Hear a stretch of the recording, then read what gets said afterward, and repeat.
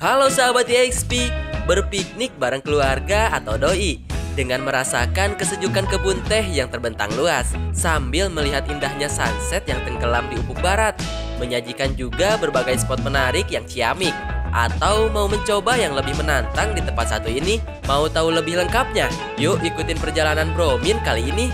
Tapi-tapi Sebelum Bromin review lebih lanjut, sok atuh bagi yang belum like, like dulu dan yang belum subscribe, subscribe dulu supaya tidak ketinggalan karena Bromin mau memperkenalkan destinasi wisata Indonesia di mata dunia.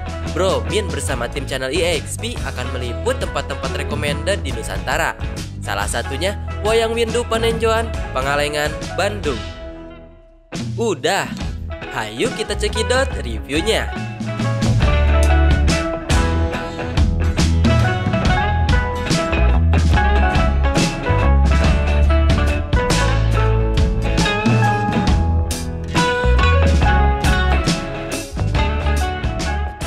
Wayang Windu Panenjuan berada di ketinggian sekitar 1800 mdpl serta memiliki hamparan kebun teh hijau yang sangat indah dan juga sejuk dipandang mata.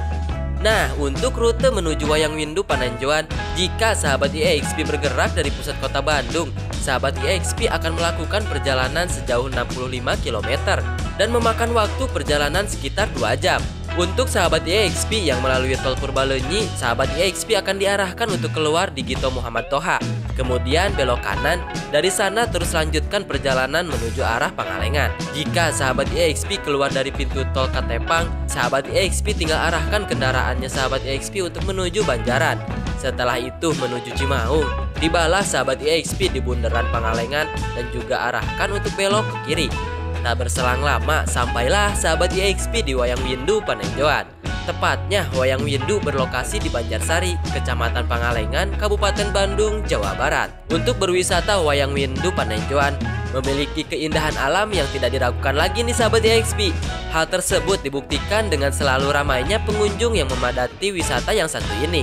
Dikarenakan dengan banyaknya daya tarik yang ada di wisata ini. Nah, Bromin satu persatu akan jelasin nih ke sahabat EXP.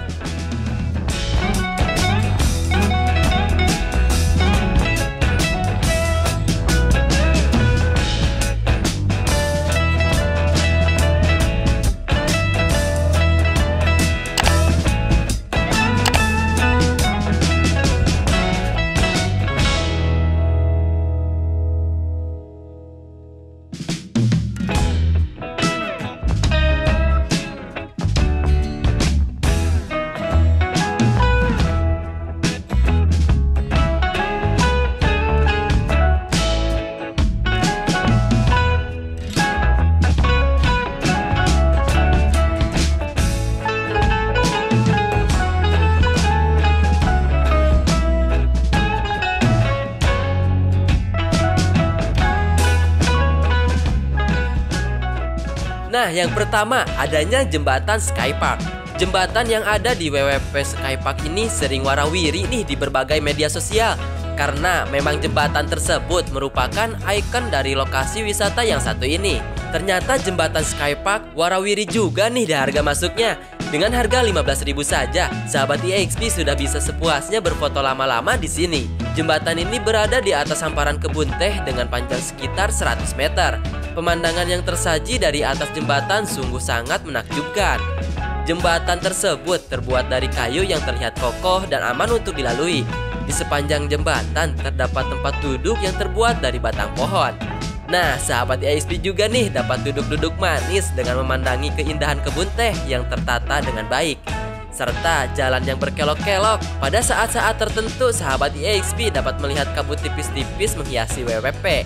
Nah, di antaranya nih spot foto yang ada di WPP. Yang pertama, sebuah jendela besar yang mengarah langsung menuju keindahan hamparan kebun teh. Yang kedua, ada ujung jembatan. Di sini sahabat EXP bisa bersuah foto yang semenarik mungkin. Nah, yang ketiga, spot foto yang menyerupai saung atau tenda. Yang terakhir nih, mengabadikan keindahan alam. Nah, tentunya nih semua spot foto di sini gratis tanpa diminta lagi pungutan biaya. Tetapi sahabat EXP dilarang untuk berlama-lama juga nih karena untuk menghindari antrian pengunjung yang ingin berfoto juga.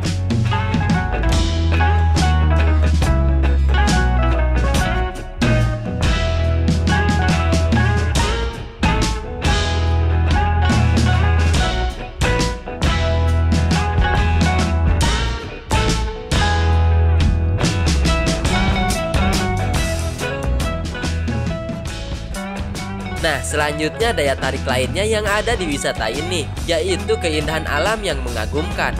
Wayang Windu Panenjoan berada di dataran tinggi sehingga memiliki udara yang sangat sejuk. Ditambah dengan hijaunya hamparan kebun teh bak sebuah permadani. Alam yang disajikan Wayang Windu Panenjoan sungguh mengagumkan di sahabat XP.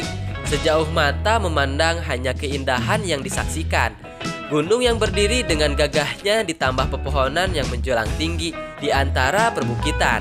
Dengan duduk-duduk santai sambil memandangi hamparan kebun teh, diiringi semilir angin yang menyejukkan, mampu menenangkan jiwa dan juga raga nih sahabat EXP. Tak pernah bosan sahabat EXP memandangi mahakarya Tuhan yang terpampang di depan mata. Suasana akan terasa sangat berbeda ketika malam tiba di mana hamparan kebun teh akan berubah menjadi kerlipan cahaya lampu.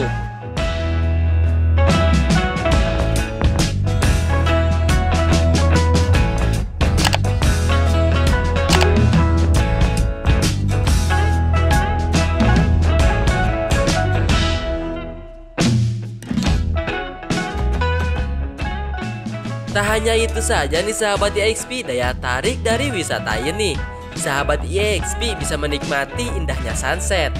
Telah disebutkan di awal bahwa lokasi Wayang Windu Penenjuan merupakan lokasi yang tepat untuk melihat indahnya sunset.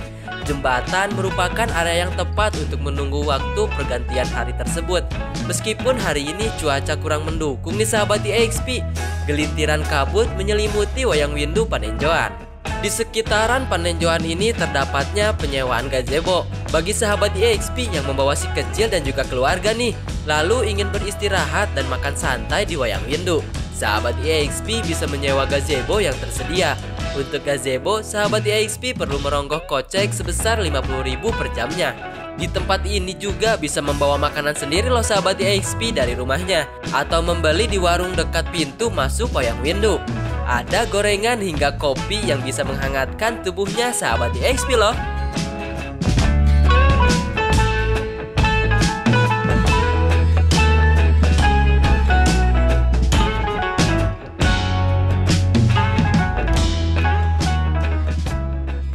Nah, gazebo sudah, spot foto sudah, jembatan sudah, Nah, kalau sahabat EXP ingin sesuatu yang sedikit menantang, untungnya tempat wisata yang satu ini juga menyediakan penyewaan ATV. Dengan tarif 70.000 per putaran, sahabat EXP bisa berkeliling di labirin kebun teh ini dengan jarak sekitar 1,2 km. Nah, untuk fasilitas umum yang ada di Wayang Windu Panenjuan cukup lengkap. Hal tersebut ditandai dengan adanya area parkir kendaraan, toilet umum, musola, warung-warung makanan dan juga minuman, gazebo, spot foto dan juga tempat untuk menyetak foto. Oh iya nih sahabat EXP, perlu diketahui oleh sahabat EXP. Untuk jam operasional Wayang Windu Panenjoan buka mulai dari jam 6 pagi sampai dengan jam 6 sore. Tetapi pengelola dapat melayani sahabat EXP hingga 24 jam nonstop. Dengan konfirmasi terlebih dahulu ya tentunya.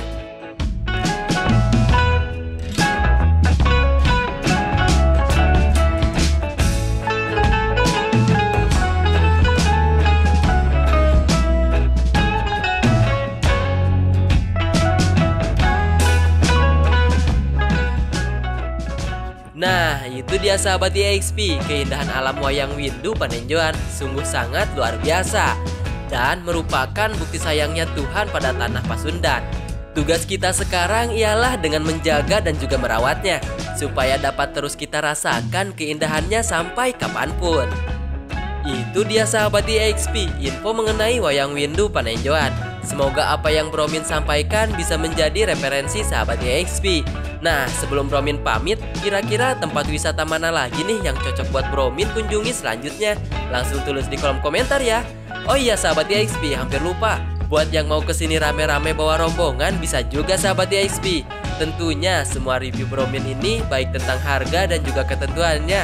Suatu saat mungkin saja bisa berubah. Jadi pastiin nih sahabat EXP bisa cek RD cek dulu ke website atau kontak personnya. Info detailnya seperti biasa Bromin cantumin di kolom deskripsi. Lalu bantu support Bromin juga dengan cara like, subscribe, dan klik lonceng di sampingnya agar tidak ketinggalan informasi selanjutnya. Karena Bromin bersama tim channel EXP akan selalu meliput tempat-tempat wisata yang ada di Nusantara dan akan upload setiap harinya loh. See you in the next video. Bye-bye.